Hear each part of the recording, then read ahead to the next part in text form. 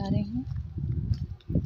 उसको लाने के बाद नाश्ता वगैरह कराऊँगी ऊपर का लंच कराऊँगी फिर मैं बिटिया को भी लेने जाऊँगी इसको।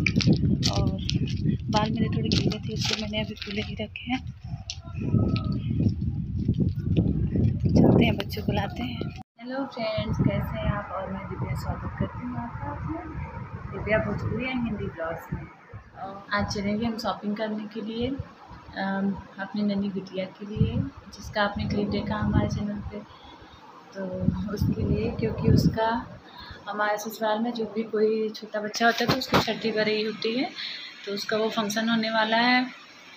उस फ़ंक्शन के लिए हमें लाना है सामान, बच्चे के लिए तो देखते हैं क्या क्या लाते हैं, उसके बाद रक्षाबंधन का त्यौहार भी आने वाला है तो आप सब प्लीज़ ससुराल वाले ब्लॉग्स मेरे ज़रूर देखिएगा, क्योंकि मेरी साड़ी का जो पार्ट टू आएगा, साड़ी कलेक्शन का, वो भी मैं वहीं पे शूट करूँगी, आप सबके साथ शेयर करूँगी। और रक्षाबंधन का जो भी ससुराल मायके ऐसे तो हमारे यहाँ मायके जाते ही नहीं है, ना सावन में जाते हैं, हमारे ससुराल में मायके नहीं जाते हैं, और रक्षाबंधन के भी त्यौहार में नहीं जाते हैं। दस साल हो गए, मेरी शादी को मैं आज तक नहीं गई हूँ, और देखती हूँ भैया आते हैं कि नहीं आते क्या होता है। और तो जो भी होगा आपको ब्लॉग में देखने को मिलेगा। और अगर आप हमारे चैनल पर नए हैं तो प्लीज़ हमारे चैनल को सब्सक्राइब करना ना भूलिए। और अगर वीडियो पसंद आए तो एक लाइक ज़रूर करिएगा। तो बने रहिए ब्लॉग में। और बेबी के कपड़े लेने के लिए हम ट्रेंड्स आ गए थे। और देखिए हमने यहाँ देखा। और बस पार्टी वेयर ज़्यादा था डेली यूजेस के कम थे कपड़े। हमने बहुत कम में मैंने इतना अच्छा अच्छा मंगा लिया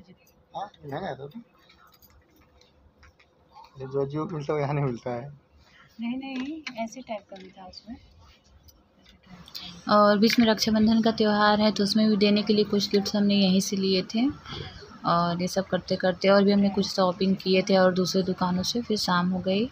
और पास में ही एक क्रेविंग कैफ़े था तो हम वहाँ चले गए थे चाय पीने शाम हो गई थी। तो चाय पिए थे सिवाय ने डोनेट खाया था। और सानवी के डांस क्लासेस थे तो इसलिए वो नहीं आ पाई थी।